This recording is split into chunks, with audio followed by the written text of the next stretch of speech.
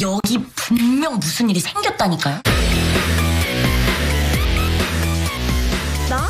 대한민국 청소년 중에 이런 일 겪는 사람은 저 한 명밖에 없을걸요.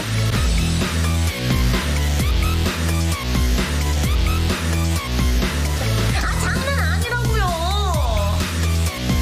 이런 이 시베리아지. 아 왜? 너랑 나 빼고 다들 기억도 못하잖아. 내 기억이 사라진다. Extraordinary You starts 18th May at 6:30 p.m. on 1.